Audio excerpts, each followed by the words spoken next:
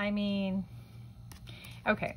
I think this uh, masculine at this time, they are definitely uh, adapting this this new way of looking at things, of uh, doing things, right? It's a much calmer energy than the recent readings we've had. We are doing a twin flame energy check-in and today we're going to take a look at the divine masculine and divine feminine. We're going to take a look at their energies get one card for each of their thoughts their feelings and any actions and intentions at this time. Okay let's go ahead. Let's start with the divine masculine. What is the divine masculine's thoughts at this time we have the seven of wands to start off with their thoughts and their feelings. Okay, so their feelings, we have the, the Wheel of Fortune and the Page of Swords. And when it comes to their intentions and actions, we have the Ace of Wands. Okay? All right. At the bottom of the deck, we have the Knight of Pentacles in reverse. So that could be kind of the theme of their energy at this time. So let's go ahead and take a look at the Divine Masculine. What are the Divine Masculine's thoughts? Why do we have the Seven of Wands?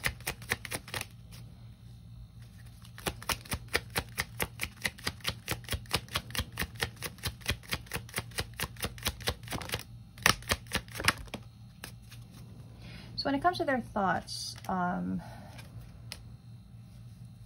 they could be delaying or putting off some kind of ending when it comes to a commitment, um, marriage, maybe a job, could be a friendship. It seems to be their current energy, so they could be dealing with some kind of ending in some area of their life. But right now they're they're kind of putting that off. They're delaying it potentially.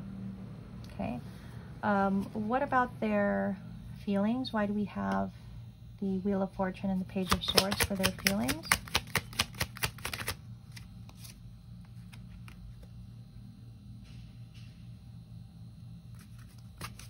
So there's something about how they feel the right time will come. That's what I'm getting. It's like they're feeling like the right time will come. So they're not actively or proactively strategizing, organizing, taking action because I think they feel like when it's meant to happen is when they they will then take the action they need to take. So there this is a this is a masculine this time that's not making any kind of movements. Okay. When it comes to their thoughts, their feelings, they're kind of just letting things flow, letting things happen in a way. A little bit of resistance here, yes, but I also just kind of feel like they're doing this because it's a very laid back, chill kind of energy um, from what I'm sensing. What is this Ace of Wands when it comes to, to their intentions and actions? What is this Ace of Wands for their intentions, actions? So that's not to say that they're not motivated or they're not passionate about something. They're, they're holding on to that energy. Um, I think they've probably done a lot of thinking here um, about the best way to go about things. And again, if there's something about timing, it's like they've learned. So this is either life experience that has given them this energy or they've learned in some way that things that are meant to happen should not be rushed. Things that are meant to happen will happen when it's meant to happen. So they're adopting this energy. And so even when it comes to their intentions and actions, they're holding on to to the desire that they have here but they're also accepting that things might take time so they're not rushing themselves right now which is actually a pretty good energy if you ask me that's that seems really good um, let's get an overall check-in for their energy as well like just a little more of an extended look. Okay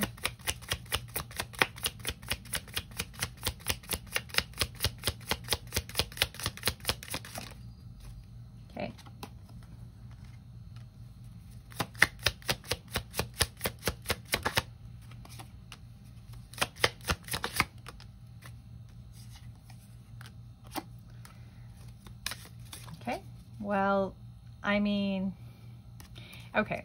I think this uh, masculine at this time, they are definitely uh, adapting this this new way of looking at things, of uh, doing things, right? It's a much calmer energy than the recent readings we've had. But it, it is kind of saying, don't let that fool you. It's like they want to tell this feminine, don't let that fool you. I still have a lot of passion. I still think about you and I still am very much tempted. Um, but this is how they are approaching the situation at this time. Now, they could also be um, a Pisces, Cancer, Scorpio.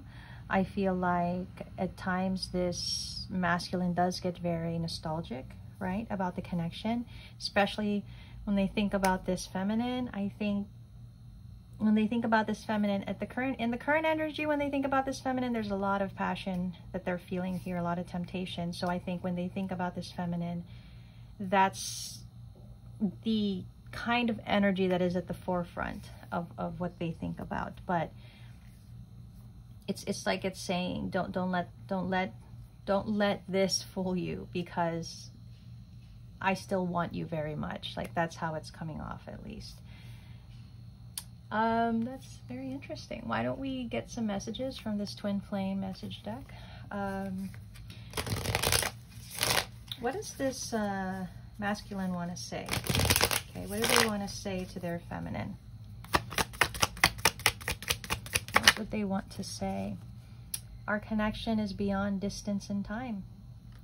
Absolutely coincides with the way that they're going about things where they're not rushing, they're knowing it needs time um, I long for your touch. Missing you is unbearable.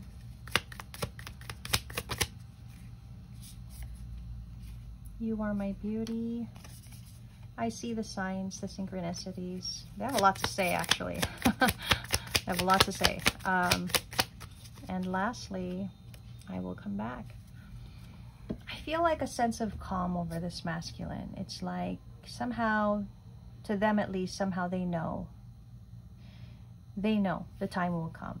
Um, in the meantime, when they think about the feminine, they're feeling rather passionate about the feminine at this time. Um, probably recreating scenarios or things like that. And so that's really what, what the energy is for the masculine. Um, hopefully that helped you guys let's go on to the feminine. Let's let's see what the feminine is. Uh, what's their energy at this time? Okay. What are the feminine's thoughts at this time?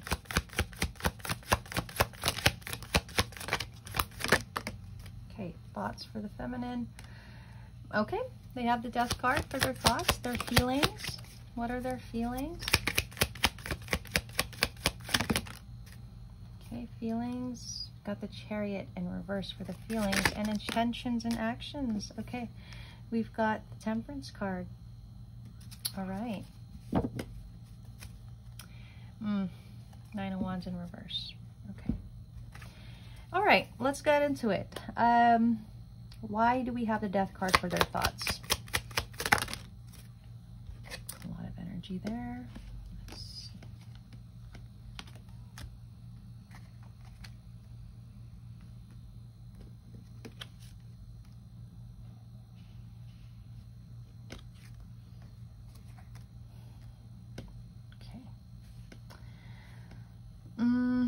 All right, so I'm kind of sensing the feminine at this time is not trusting their intuition. They don't know what to think. They don't know what to think.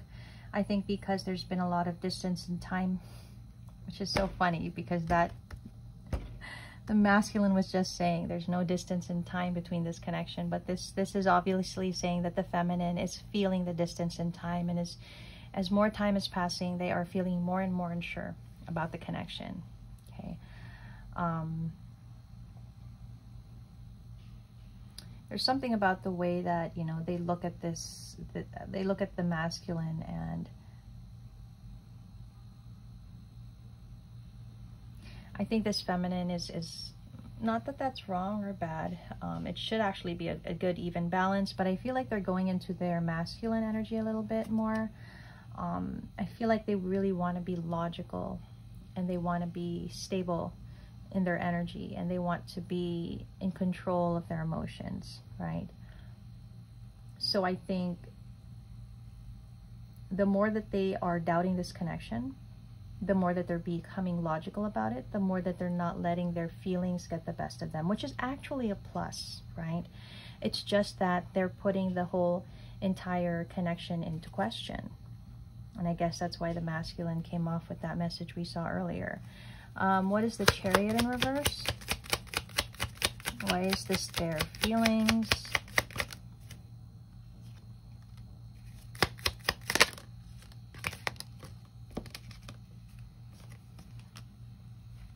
Again, it's just coming off a little more masculine. Um, it's this energy of, okay, well, things aren't moving forward. I don't know what's going on. And if I don't know what's going on, then I don't want to go in this direction anymore.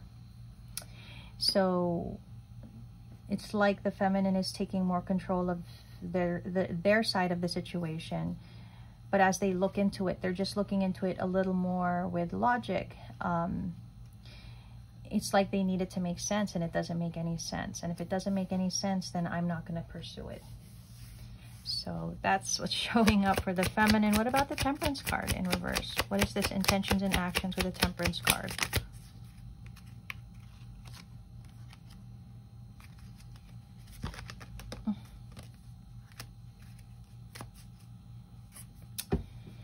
I mean, you know, the feminine right now, they don't feel at peace. They feel like things are very shaky. They're very, I think they want to put an end to the uncertainty. They want to put an end to, to the doubt and uncertainty. And I feel like they feel like, you know, if I don't know what to do about this situation, if I don't know what this connection means, maybe I should just put an end to it maybe it's not my path and maybe I should go explore new things that will make me feel like life makes sense.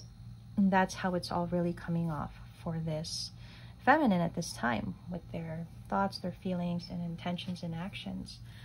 Um, let's take a little more of a look. All right, let's get a little more extended energy for them.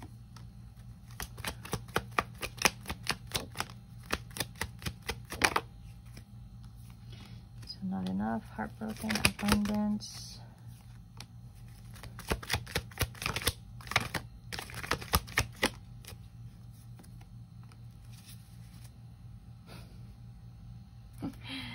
okay, um, you know, it's funny because this comes up in their energy, but they're doubting the whole journey.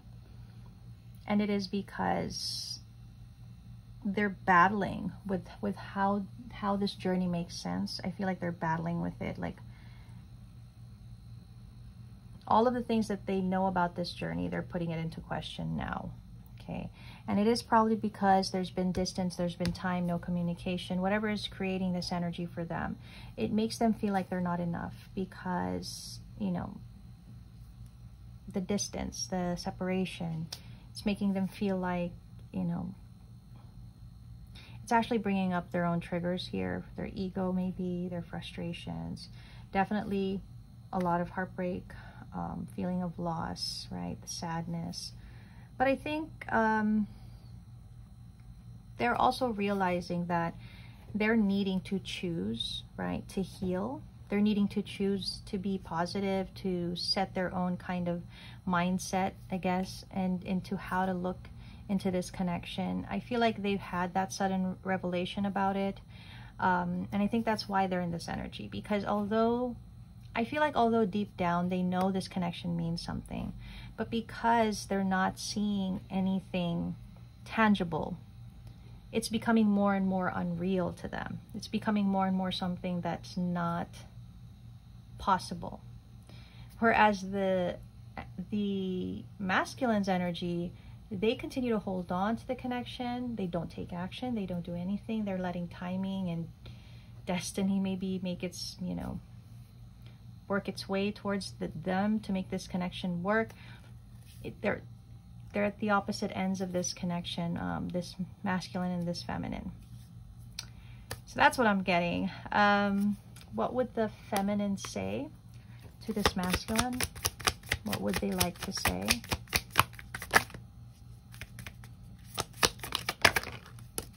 Oh my, okay.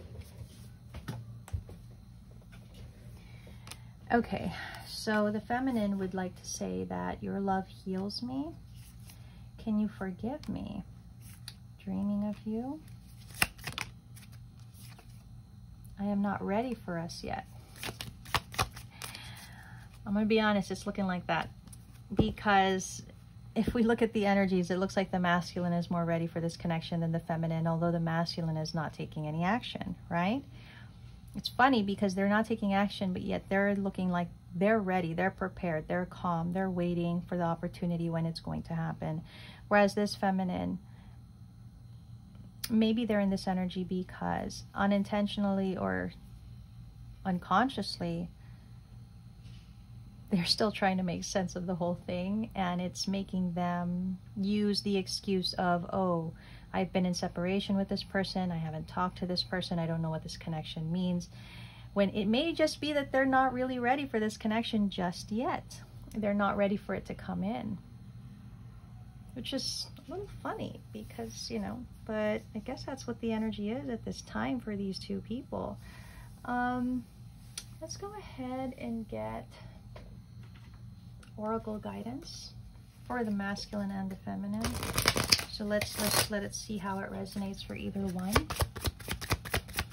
Okay, what is the guidance to close out the reading? Okay, right action. Right action. It says, oh gosh, there's that there's that word again. Aparigra. I hope I'm saying that correctly. Literally means let everything that wants to go go and everything that wants to come come. Okay. Then we've got deepening, okay? Once you're on earth for enough lifetimes, your old soul will begin to long for non-grasping detachment and surrender. They bring the peace of God.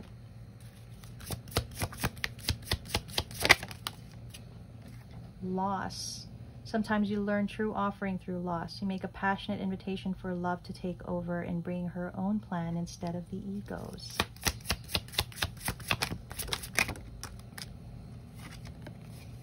freedom. I no longer want this fiery ring of resentment to block the good. Release me from its bonds. Then we've got courage. Let me be open to courageously take the steps that are shown. So I'm really getting that the guidance here, which is so funny because the masculine is actually more in the energy of just trusting the journey. I know not really actively doing anything because they know that when it's meant to happen, it will happen. Um, Whereas the feminine, they're really being guided to detach in the right way, to surrender, which is, I don't know if this is just a setback for, for, for the feminines or just part of the journey, the chapter that, you know, needs to play out here. But they need to detach in a way where they're still very much trusting in the journey. What this feminine is doing right now is detaching and trying to detach completely because it doesn't make sense, right? With that lost card,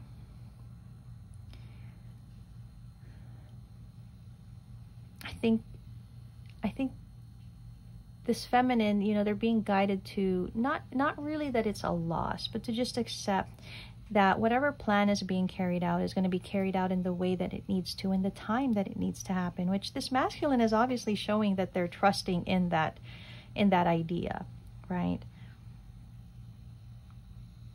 So that's what i have for the masculine and feminine energies at this time. Very interesting kind of twist to the to the story at the you know during this journey and i think we'll do another check-in soon um, particularly on the masculine and and the feminine individually.